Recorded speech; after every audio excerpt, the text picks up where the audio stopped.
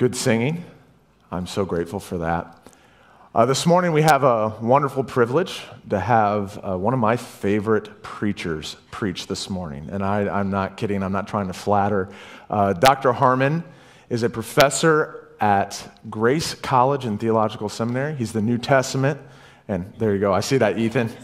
Yeah, Gracie's got to represent, right? So um, that's where I went, Kelsey went, Ethan went, a few other people in here, uh, even go right now. Uh, we're grateful for Dr. Harmon and his work uh, for the church. Uh, he's a member at Christ Covenant over in Warsaw, and so uh, he skipped teaching Sunday school today to come and preach for us this morning. I'm really grateful for that. Um, Dr. Harmon really loves the book of Philippians. In fact, he wrote a commentary that's really, really good about it. And so it's a privilege to be able to have him come and preach this morning from Philippians. And so I am so grateful that he's here. And um, also, I do know that the preaching is going to be better this morning because Ohio State won yesterday. All right. So uh, he's an Ohio State fan. Maybe that's a bad thing for you, but uh, let's uh, welcome him this morning. All right.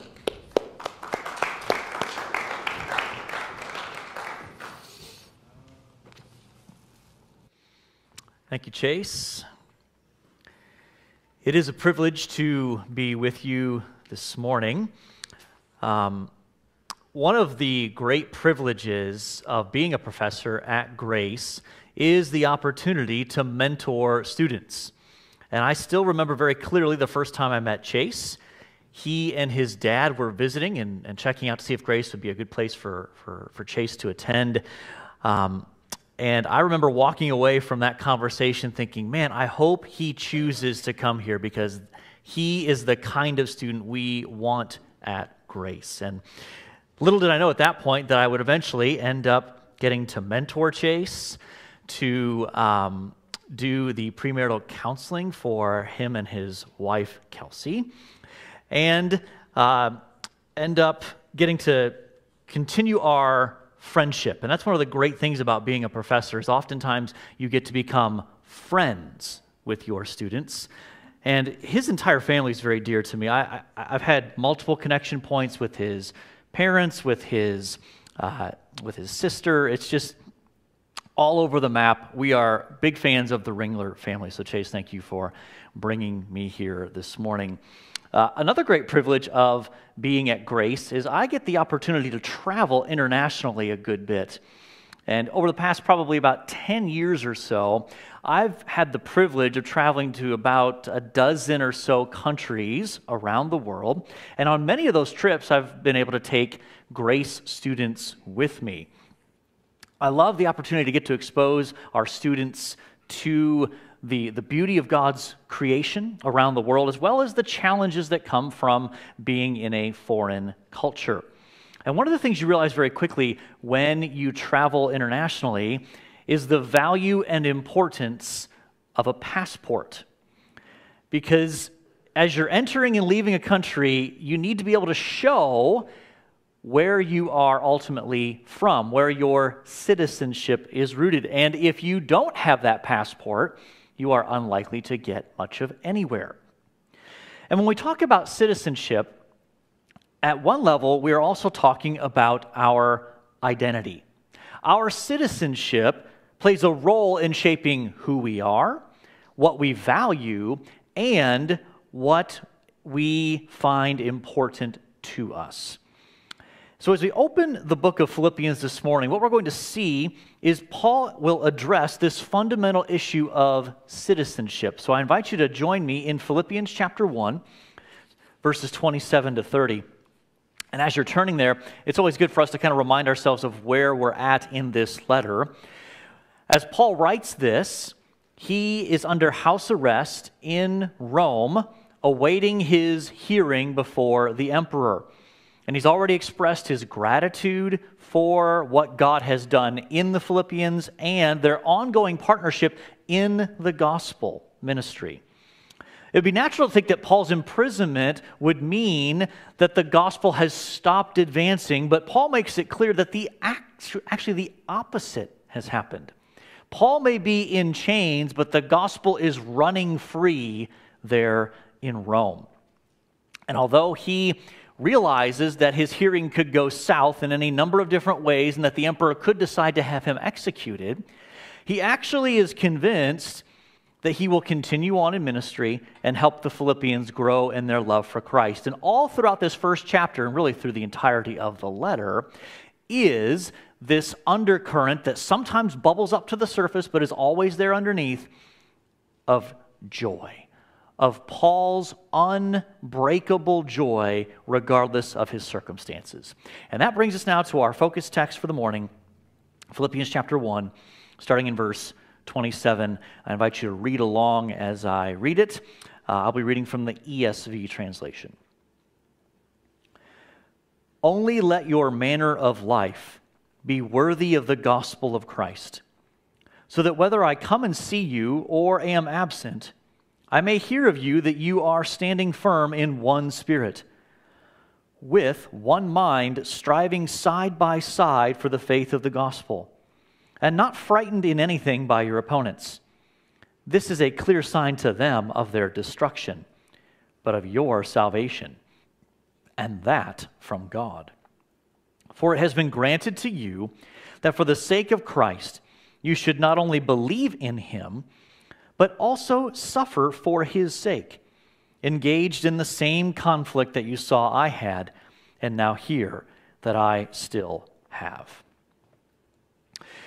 So let me be very upfront here. The main point of what Paul is saying in this paragraph is pretty straightforward, and I might summarize it like this We must live out our citizenship in God's kingdom according to the pattern of the gospel. We must live out our citizenship in God's kingdom according to the pattern of the gospel. So, what I'm going to do is unpack that, help you see how I get that from the text, and then I'm going to show you how Paul gives us two reasons why it's necessary for us to do that. So, let's start with his main point that we must live out our citizenship in God's kingdom according to the pattern of the gospel. So, here in verse 27, we actually have the first command in the entire letter. Everything else up to this point, Paul has been describing what's been happening to him. He's been talking about how he prays for the Philippians. And now, finally, in verse 27, he issues his first command. And this command is actually so important that he says, Only let your manner of life or as the NIV translates it, whatever happens, live this way. In effect, Paul is saying this is really the only thing necessary. This command really serves as the thesis statement for the entire letter of the entire main body of the letter that runs all the way into chapter 4. So, that entire section is about living as kingdom citizens in a manner worthy of the gospel. Now, at this point, some of you might be scratching your head and saying, okay, Matt, um, you keep using the language of kingdom and citizenship, and I don't see that in my text. Where are you getting that from? Well, it's true. Most English translations have something like, let your manner of life be worthy of the gospel. If you happen to be reading out of the Christian Standard Bible, they render it, though, as, as citizens of heaven live your life worthy of the gospel of Christ. And even if you're reading out of the English Standard Version, as I am, if you note, there is a little footnote there that tells you at the bottom of the page that this could also be translated only behave as citizens worthy of the gospel of Christ.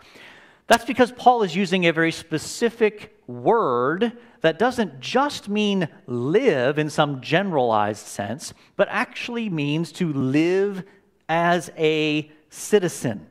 And it's related to the word that Paul is going to use later in chapter 3. So if you flip over to chapter 3, verse 20, towards the end of this main letter section, look at what Paul writes in chapter 3, verse 20. He says, but our citizenship is in heaven, and from it we await a Savior, the Lord Jesus Christ.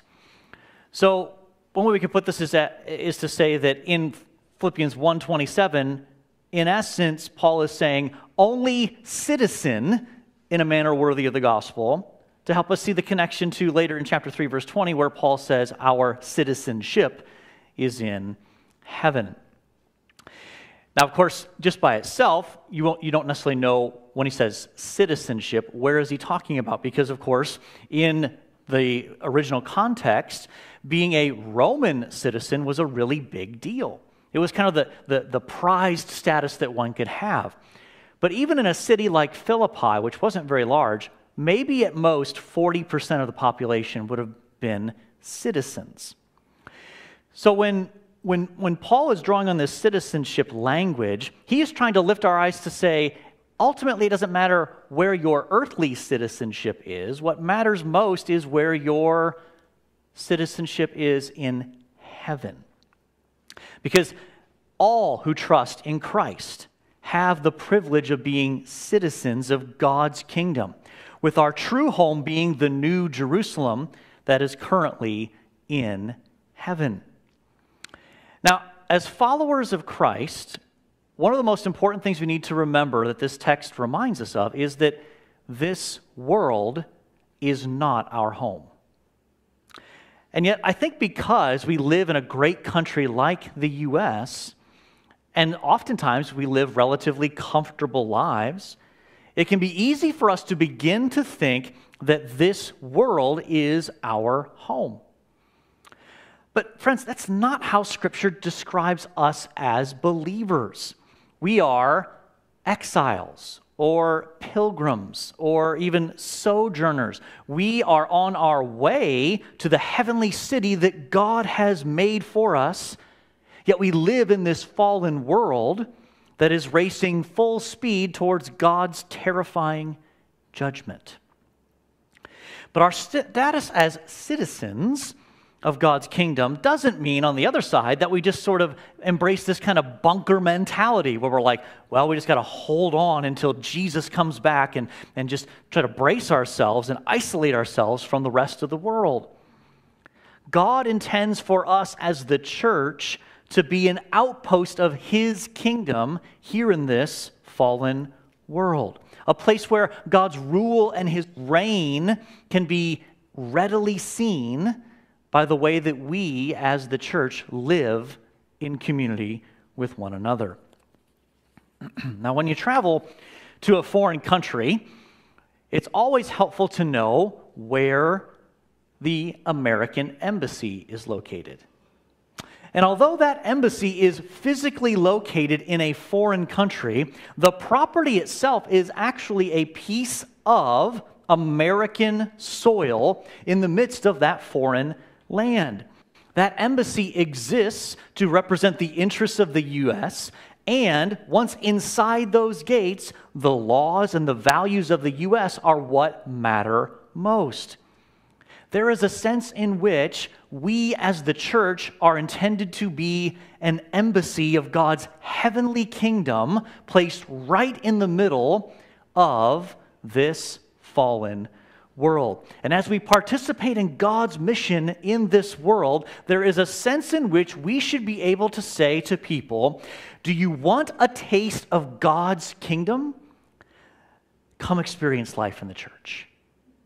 Come experience life in the church. We should be able to say, if you want to see what God's kingdom looks like in tangible ways, come experience life in the local church.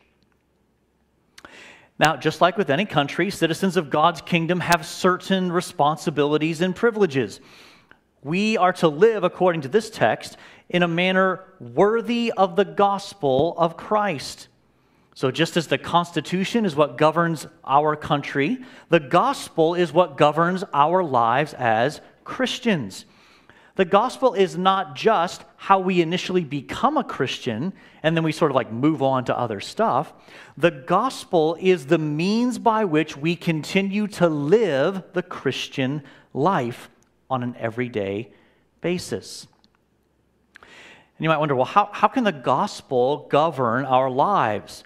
Well, it can because it's the gospel of Christ. It's the good news about who Jesus is and what he has done for us. It's the good news that Jesus lived the life of perfect obedience that we could not live and died the death that we deserved to die for our sins and rose on the third day to defeat our greatest enemies of sin, death, and the devil. And all of us who have entered the kingdom of God through faith in Christ must live in a manner that is consistent with, that reflects the way that Christ our King actually lived himself. A point that Paul is going to go on to make later in this text in Philippians chapter 2, verses 5 through 11. So, that's the main point of this paragraph. We must live our citizenship in God's kingdom according to the pattern of the gospel. Now, in the rest of this paragraph, Paul is going to give us two reasons why that's necessary. And the first is found in the second half of verse 27, stretching on into verse 28, and I'll summarize it like this Opposition to the gospel threatens to knock us off balance. Opposition to the gospel threatens to knock us off balance. Paul was deeply invested in the spiritual growth of the Philippians, regardless of whether he was with them or not. And he wants to hear a report back that, regardless of what's going on in his life or even in the Philippians' life, that they are standing firm in one spirit. You see that phrase there in verse 27. He wants to hear that you are standing firm in one spirit. And that's an important phrase, so I want to take a moment to unpack that. Paul loves that expression of stand firm when he's describing how we as Christians should live. And the imagery that he's probably drawing on is the picture of Roman soldiers digging in, to use a modern analogy, like an offensive line in football, forming a protective wall around the quarterback so he can throw the ball. Now, later in chapter 4, verse 1, Paul is going to talk about standing firm in the Lord. Here, however, he calls us to stand firm in the Spirit. Now, I recognize that in most of our English Bibles, there's probably a lowercase s on that word spirit. But I actually believe that when you read the text and study it carefully, Paul is instead referring to the Holy Spirit, that it should be a capital S there. That we as believers stand firm in the Holy Spirit, in God's Spirit, because God has not left us on our own to stand firm. He's given us the Spirit of God to unite us as believers to stand firm together. So, what does it look like to stand firm in the Spirit? Paul gives us both a positive picture and a negative picture. First, the positive. Standing firm in the Spirit means striving together for greater gospel produced faith. Did you see that there? Look again at verse 27. Standing firm in one spirit, with one mind, striving side by side for the faith of the gospel. Paul is again using athletic imagery here. He's using the same kind of imagery that he uses in 2 Timothy chapter 2 verse 5 when he writes an athlete is not crowned unless he competes or strives according to the rules. Now, my apologies. This sermon feels a little heavy on football illustrations, so my apologies if that doesn't connect with you, but I think you can understand the point even if you don't care at all about football. The point is, every player on a football team or any sports team in general has to work in unison and according to the rules in order for a play to succeed. All it takes is one player, one player to violate the rules, and it doesn't matter how well the other 10 did on the play, one player messes up and it nullifies that play. And so the picture that comes out of this is that we need to strive together as fellow believers for the faith of the gospel, as the ESV puts it. Or to put it another way, faith produced by the gospel. So in Romans chapter 10, verse 17, Paul writes that faith comes from hearing, and hearing through the word of Christ. So, as we hear the gospel preached and taught and applied, and as we read it, the Spirit of God produces and deepens our faith in Christ. But I want to be clear that that happens in the context of community. Now, I'm not downplaying the importance of individual and personal study and meditation and reading of the text. That is fundamental to the Christian life. But Paul is stressing here that we must be in community, striving together. And as I get older, you can judge whether I'm actually falling into that category of old or not really old. Probably depends on how old you are as you make that assessment. But the older I get, the more I appreciate the value of living in close community within the body of Christ. And I fear that too many of us have fooled ourselves into thinking that because maybe we're connected loosely with a lot of different people on social media or maybe loosely in our neighborhood or in other contexts, that we are more connected than we actually are.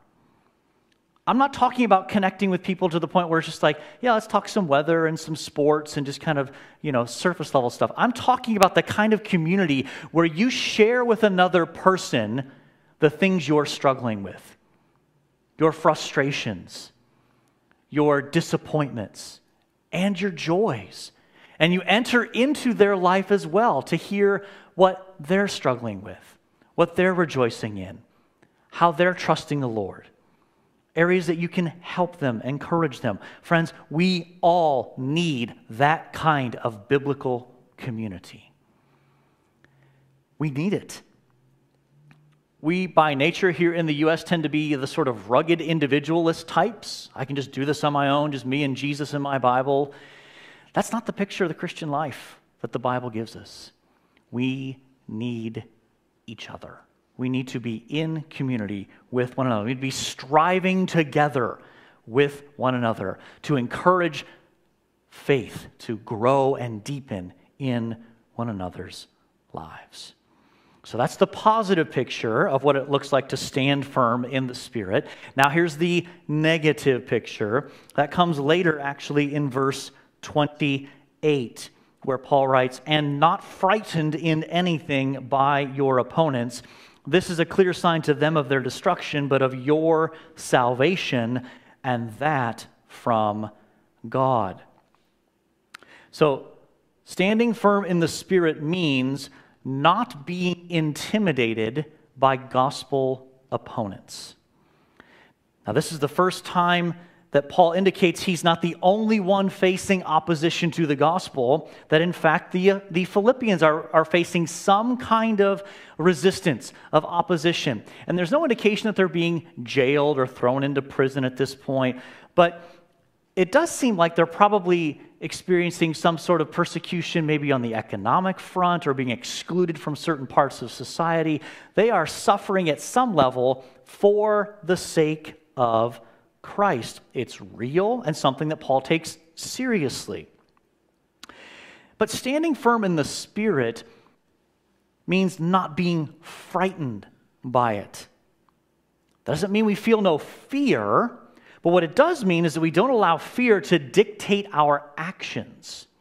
That's a key distinction. That word that Paul uses there to describe being frightened is used elsewhere in Greek literature to refer to horses being startled in battle. So you can kind of picture that in your brain of, of horses suddenly freaking out and panicking and throwing their riders and just running chaotically wherever. Paul says, You know that picture? Yeah, don't be like that. That's essentially what he's saying. Even in the face of opposition to the gospel, we need to stand firm in the power of the Spirit. And I have to be honest. I see far too many people today who claim the name of Christ who are completely dominated by fear, utterly controlled by fear. And it doesn't matter if it's politics or if it's COVID or cultural issues or anything else, far too many believers are acting as if the cause of Christ is going to be utterly doomed if their preferred candidates or policies don't come to fruition.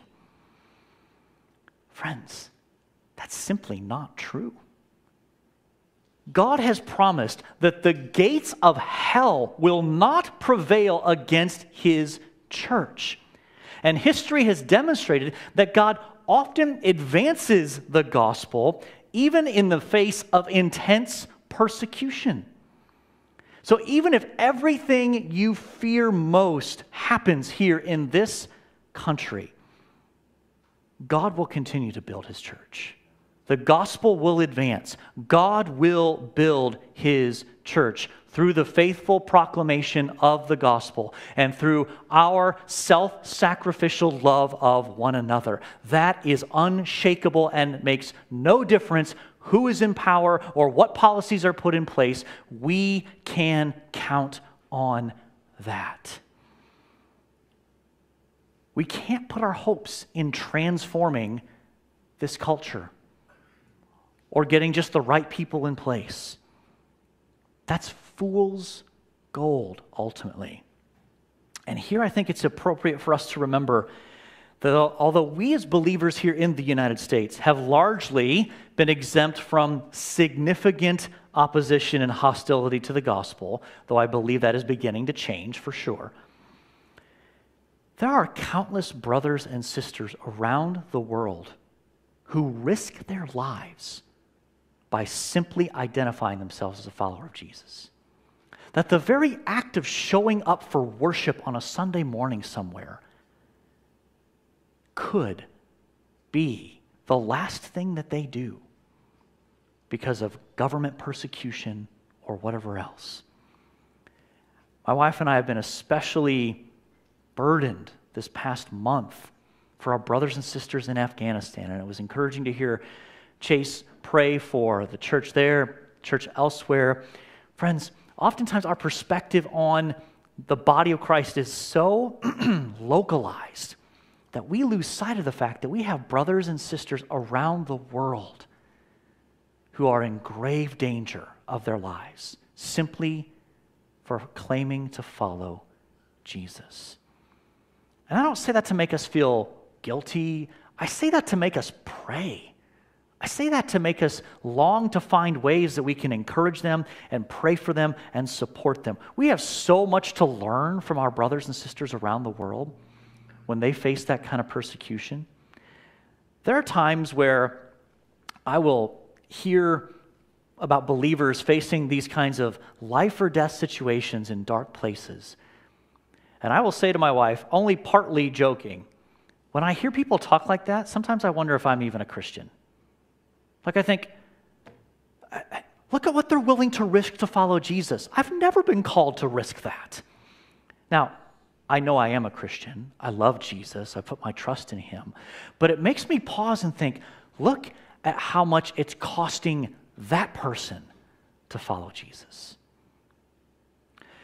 I think one of the most comforting truths we can cling to, even in the midst of opposition, regardless of what degree of opposition we might face, is what Paul writes in Romans chapter 8, verse 31, where he writes, What then shall we say to these things? If God is for us, who can be against us? If God is for us, who can be against us? When we stand firm in the face of opposition to the gospel, it is a tangible sign that we are, in fact, God's covenant people, set apart for mission in this world as we make our way to our heavenly home. But it's also a sign to our opponents that unless they turn away from their sin, they too will face eternal destruction, which path are you on this morning? So, standing firm in the Spirit enables us to face opposition in the uh, to the gospel without being knocked off balance. That's the first reason. The second reason that we need to live out our citizenship in God's kingdom according to the pattern of the gospel is that suffering shows the surpassing value of Christ. Suffering shows the surpassing value of Christ. Now, when Paul says that both faith and suffering are things that God graciously grants to us, we might do a double take. So let me point you back into the text again. Look with me at verse 29, where Paul writes, For it has been granted to you that for the sake of Christ, you should not only believe in him, but also suffer for his sake. Now, when we hear that God gives those two gifts, we think, well, I'll gladly take the gift of faith. Yes, sir. Can I have some more? But then you get to that second gift and you see that suffering is a gift. And that's one that we might think, um, can I get a receipt with that one to take that one back? Because that's not one that we eagerly want.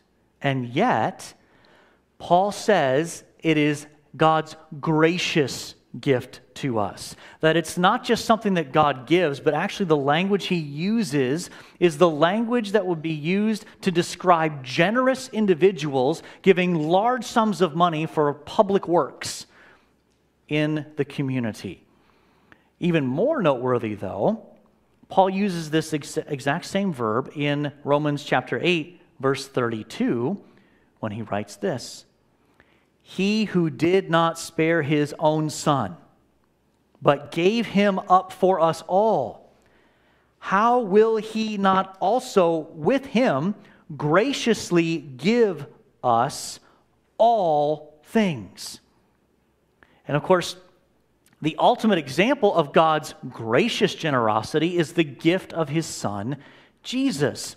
And based on that gift, what Paul says, if he didn't withhold that from you, why would you think that he would withhold anything that is good for you ultimately?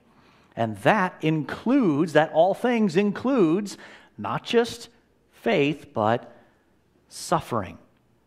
But we shouldn't run too quickly past this idea that faith is a gift from God. It's absolutely clear that we are responsible to believe in Christ. No one believes for us, and yet, this passage tells us that faith is a gift from God. So, how do we make sense of this? How do we put this together in our brains? Well, let me try to explain it like this Every single one of us enters this world as a descendant of Adam. We are dead in our sins. And we have this veil over the eyes of our heart but in God's sovereign power. God takes away that veil and makes a person spiritually alive so that when that happens, the natural response is to see the beauty of Christ and respond by trusting in Him. And if you are a follower of Jesus, that's exactly what God has done for you. There was a time when you were dead in your sins and could not see the beauty of Christ. But then at some point, God opened your eyes, and suddenly Jesus became more precious to you than anything or anyone else in this world. What a remarkable gift. Now, of course, it's easy to be grateful for that kind of gift, but it's that second gift that still is just sort of lurking in the text that I'm sure you're thinking, how is suffering a gift? Well, let's approach it from this angle. We are identified as belonging to Christ by suffering because of him. See, our faith unites us to Jesus in such a way that we are united to him, joined with him. So it should make sense when you consider that if Christ suffered, we who identify with him will also be called to suffer because we are identified with him. Suffering is a gift. But this is a place where we have to make sure that we allow the biblical text to determine what we think rather than our natural inclinations and our feelings. Because we, by nature, are going to think, why, how can suffering be a good thing? Well, let's start with what Paul says in Romans chapter 5. Starting in verse 3, Paul writes, Not only that, but we rejoice in our sufferings, knowing that suffering produces endurance. And endurance produces character. And character produces hope. And hope does not put us to shame because God's love has been poured into our hearts through the Holy Spirit who has been given to us.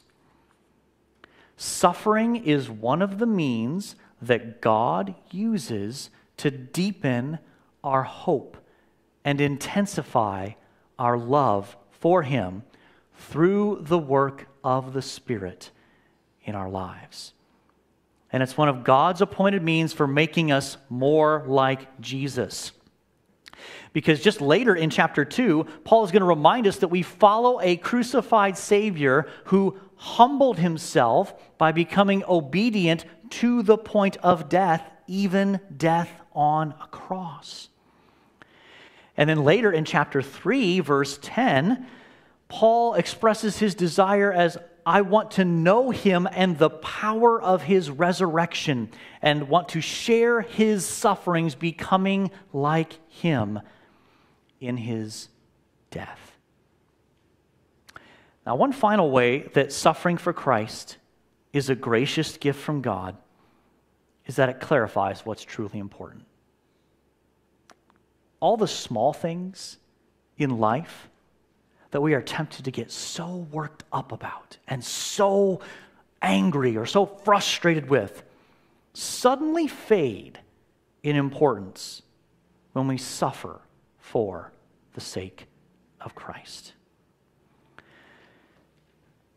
And when we suffer for the sake of Christ, we experience the same kind of struggle that Paul himself experienced. That's the point of what he says in verse 30 that the Philippians are engaged in the same conflict that you saw I had and now hear that I still have. They're saying, he, Paul's saying, you are joining with me in experiencing this reality. And here's where it's helpful to look back and think okay, so how did Paul think about this? Look back with me at chapter 1, verse 21. I want you to see this in your own Bibles to remind you that in the midst of this situation where Paul is on trial for being a follower of Jesus and he faces the very real prospect of being executed for that, he says in verse 21 of chapter 1 For to me to live is Christ and to die is gain. As we suffer for the sake of Christ, we will experience that truth in fresh and powerful ways. Brothers and sisters, imagine what it would be like in this local congregation if we embraced our identity as citizens of God's kingdom. And if you're a follower of Christ, your identity is rooted in your citizenship in God's kingdom, first and foremost. That is the most important piece of your identity, is being a citizen of God's kingdom. But for some of you here this morning, if you're honest with yourself, you have become far too comfortable as a citizen of this world. Because your life might feel relatively comfortable, you've lost sight of your status as an exile, as a sojourner, as someone who is passing through this world on your way to your true heavenly home. And if that is you this morning, God is calling you to lift your eyes and see afresh the beauty of Jesus Christ, your King, and to reflect upon your heavenly citizenship. Now, others of you this morning find yourself longing for your heavenly home, but you're trying to live the Christian life on your own. That's not how God intends you to live the Christian life. God saved you to be part of a community of believers. There is no accident that God calls us the body of Christ. we need each other. We need to be living in community, striving together for a growing and deepening gospel produced faith. And if you are not you're not in some form of close Christian community, whether that's a small group, whether that's a close personal friendship with another believer, where you are actually opening up about what is going on in your life and how you need to be prayed for and things you're struggling with, things you're rejoicing about, you desperately need to get that. And the local church is the primary place where you should be looking for that. Perhaps you came in this morning coming off a week where you have experienced some kind of suffering or some kind of persecution because you are a follower of Jesus. And I want to be clear, I'm, this text isn't minimizing this. I mean, Paul is not, yeah, sure, suffering's great. I've never experienced it, but suffering's really great. He is under house arrest. He's had the snot beaten out of him repeatedly for being a follower of Jesus. This is a man who, despite all of that, says, For me to live is Christ and to die is gain, because he sees the surpassing value of Jesus. Embrace that suffering as a gift from God. And some of you here this morning may not be citizens of God's kingdom. You've never turned from your sins and trusted in Christ to be forgiven. Maybe this morning, as God's word is being preached, you've begun to long for that heavenly kingdom. Maybe, just maybe, this kingdom passage has sparked your heart and mind to want to know Jesus, the great King.